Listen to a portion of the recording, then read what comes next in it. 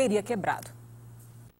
Aloísio tinha 44 anos, atualmente vice-prefeito pelo PSD, era também agricultor no município de maior produção de melancia do estado, a 134 quilômetros da capital. O vice-prefeito fazia o mesmo percurso com frequência de Jatobá do Piauí até a CEAP em Teresina, onde vendia a produção de melancia.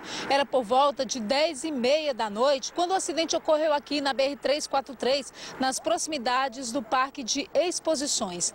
De acordo com a Polícia Rodoviária Federal, o caminhão foi encontrado com os pneus para cima.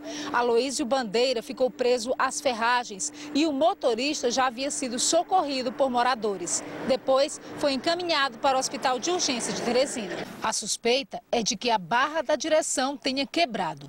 O motorista declarou que seguia normalmente pela rodovia quando percebeu em dado momento que a direção ficou sem controle.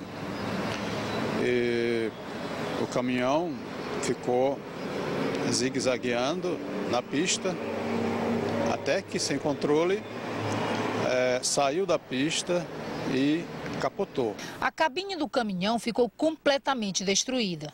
Toda a carga de melancia espalhada no local. Muitos que passavam não hesitavam em levar para si as frutas. Teve gente que aproveitou até para carregar o carro. O corpo do vice-prefeito foi velado na Câmara Municipal de Jatobá. O prefeito decretou luta oficial na cidade.